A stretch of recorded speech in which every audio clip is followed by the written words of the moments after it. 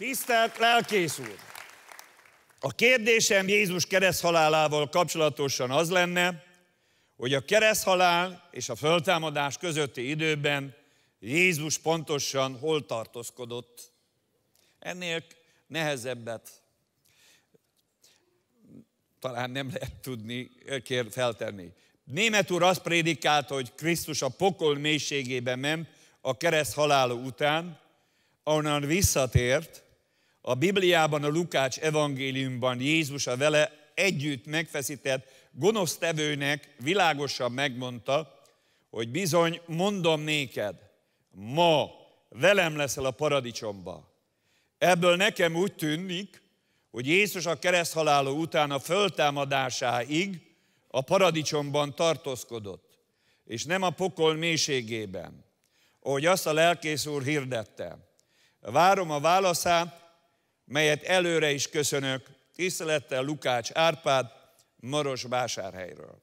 Tehát a kérdés első része, hogy hol tartozott a názeti Jézus Krisztus, a föltámadás után ugye olyan változások álltak be a testében, hogy megváltozottak a tulajdonságait, bármikor láthatatlanná, illetve láthatóvá tudtá tenni, a fizikai törvényeknek nem volt alárendelve, és nincs mai napig sem alárendelve természetesen a feltámadott dicsőségnek a teste, és ezért a názeti Jézus Krisztus akár a menny és a föld között is közlekedett. Egy biztos, hogy a mennybe menetele előtt már felment a mennyekbe, mert fel kellett vinni az engesztelésnek a vérét, hogy a zsidókhoz írt levél mondja, hogy a názerti Jézus Krisztus önmagát megáldozta, és tulajdon vérével ment be a szentek szentjébe, hogy megjelenjen az Atya előtt mindannyiunkért. Ez nyilvánvalóan a Jom Kipuri eseményeknek a beteljesedését jelentette, ahol is ugye főpapnak évente egyszer az áldozatnak a vérével be kellett menni a szentek szentjébe, és a kegyelem fedelére rá kellett helyezni az engesztelésnek a vérét, és ha az Isten eh, jelenléted sekinája azt elfogadta, akkor Istennek a kegyelme és áldása legalábbis egy évre kiárat Izrael fiaira, aztán évente ezt ismételni kellett. De az új szövetség azért többek között jobb szövetség, mert a názerti Jézus Krisztusnak a, az áldozatára csak egyszer volt szükség, mert tökéletes és örökérvényű, és tulajdon vérével nem az igazi szentének a másolatába, hanem a valóságába, a mennyeibe ment be, és odavitte föl a vérét, és betöltötte azt, amit Mózes mondott az engeszteléssel szemben, isteni követelményként, hogy az áldozati vérben lévő élet szerez engesztelést. Tehát azt szünteti meg Isten és az ember közötti ellenségeskedést, és hozza létre a közösséget, a kapcsolatot Isten és ember között. Ezért volt az, hogy a názerti Jézust, amikor meg találkozott Mária Magdolnával, azt mondta Mária Magdolnának, ne érintsél meg engemet,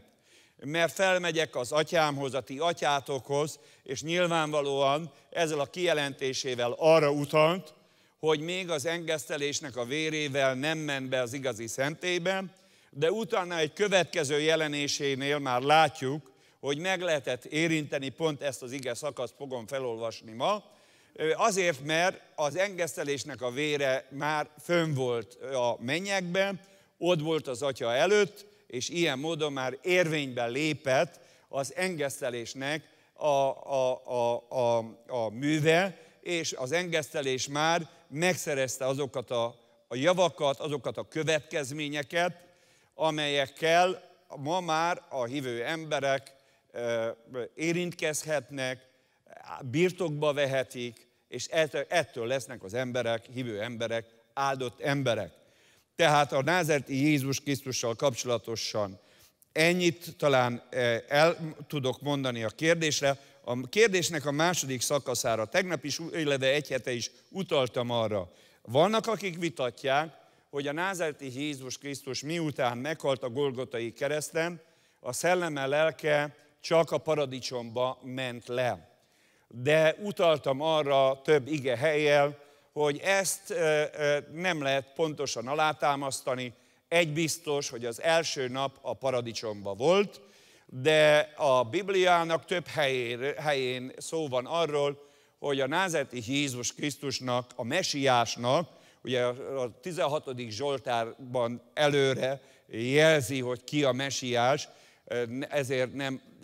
csak mi rámondjuk a názereti Jézusra, hogy mesiás, hanem azért mondjuk názereti Jézusra az, hogy mesiás, élő Istennek a fia, mert az ószövetségi mesiási proféciáknak az első eljövetelére vonatkozó előrejelzéseit és stigmáit betöltötte. Például egy ilyen volt, egyik alapvető kijelentés volt, követelmény volt a mesiásnak, hogy a lelke és a szelleme lemegy a seolba, ez Héberben van, görögben ez hádész, magyarba pedig ez pokolként adják vissza, akár tetszik, akár nem. A teste pedig sírba kerül, de nem lát rothadást a sírban, hanem visszajön, és akkor utána beszél a Zsoltáros arról, hogy az Úr előtt örvendezik, örül, tehát ez azt mutatja, azt jelzi, hogy az a mesiás, aki meghal, második, hogy a halálban valóságosan széjjel válik a fizikai test a szellem lélektől, a szellem lélek lemegy a seolba, a teste a sírba lesz helyezve, és visszajön. És e, ő a mesiás. És ezért hirdetjük a názerti Jézus Krisztusról, hogy ő a mesiás, az élő Istennek a fia. Tehát ezen kívül a Efézus 4-ben is található, hogy mielőtt a mennybe ment volna, a mesiás, mennybe megy a mesiás, ez is ószövetségi profécia, a mélységbe le kell szállnia. A má, harmadik fontos dolog, hogy a názeti Jézus Krisztus nem csak az ószövetségi szentekért halt meg, hanem a bűnösökért. És egy nagyon fontos a megváltással, illetve helyettesítő és engesztelő áldozatottal kapcsolatosan, hogy nem csak a bűnöket vette magára Jézus a testében, hanem a bűnnek a büntetését is. És a bűnös embereknek az egyik legsúlyosabb büntetése a pokol, ennél súlyosabb csak a gyehenna, tehát éppen emiatt a názeti Jézus Krisztusnak a, nem csak a bűnnek a fizikai következményét, tehát a halált kellett elszenvednie, hanem a spirituális következményét is el kellett szenvednie, ez meg értelemszerűen a pokolba való leszállást jelenti. Más, van egy ige, amivel tudom, hogy a, tolma, a fordítók vitatkoznak, az 1 Péter 3, talán 17 vagy 13, amelyről arról beszél, hogy a názeti Jézus Krisztusnak a szelleme lemegy arra részre, a mélységbe, a gödörbe, a börtönnek abban a részében, amelyben a Noénak a kortársai, tehát a bukott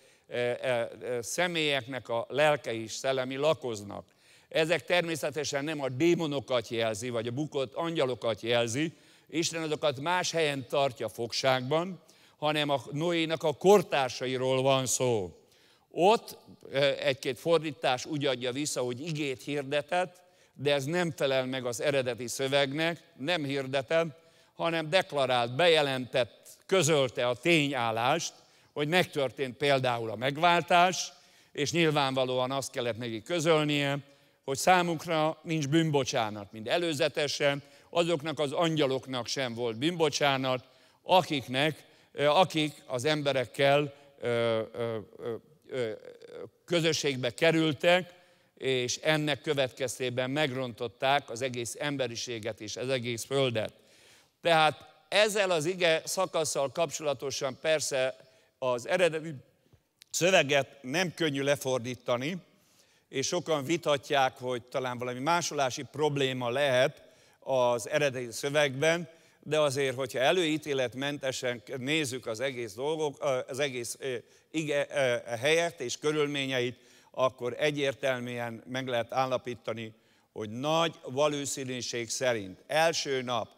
paradicsomban tartózkodott Jézus Krisztus, és utána lement a Seolnak a mélyebb helyeire, és egészen a mély gödrébe, a tömlőcökbe. Ez,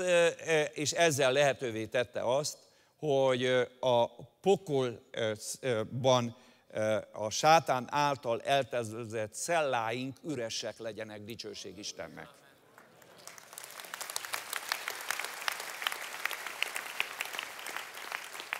Nem kell elszenvedni a bűneinknek se a szellemi, se a fizikai következményét, illetve a fizikai következményét relatíva el kell szenvedni mindaddig, amíg nem lesz föltámadás, de ez a fizikai halál nem azonos a szellemi halállal. Ugye a többféle halál formáról beszél a Biblia, van az első halál, a második halál, de igazából, ha nagyon megnézzük, három halálról beszélhetünk, a szellemi halálról, a fizikai halálról és a végső halálról, amely teljes kizárás jelenti Isten jelenlétéből. Na most ebből váltott meg dicsőség Istennek bennünket Jézus Krisztus, hogy a földi létforma után, akik a názáreti Jézus Krisztussal azonosulnak, ő benne élnek, ő neki élnek, azok meg vannak váltva, tehát Jézus Krisztusnak a az élet formájából, az örökké valóságából, dicsőségéből részesülhetnek, és el, elvehetik Jézus Krisztusnak a dicsőségét. És ez az üdvösség, és erre bátorítunk mindenkit, és buzítunk mindenkit, hogy ezért térjenek meg az élő Istenhez, mert az Úr nem csak a bűneitől szabadítja meg őket, hanem a bűn, bűnhördésétől. Van egy nagy eh, híres regény, a Dostoyevsky regénye, a bűn és a bűnhördés és kettő összefüggését vizsgálja, nyilván világi, szekuláris értelemben, de vannak benne egy-két keresztény elmélet, alapelvek is, és rendkívül nehéz a büntetéstől megszabadulni, de dicsőség Istennek, hogy Jézus Krisztus a büntetésünket is magára vette, hogy megszabaduljunk és élvezzük már a földi életünkben Isten végre mértetlen gazdag áldását. Halleluja!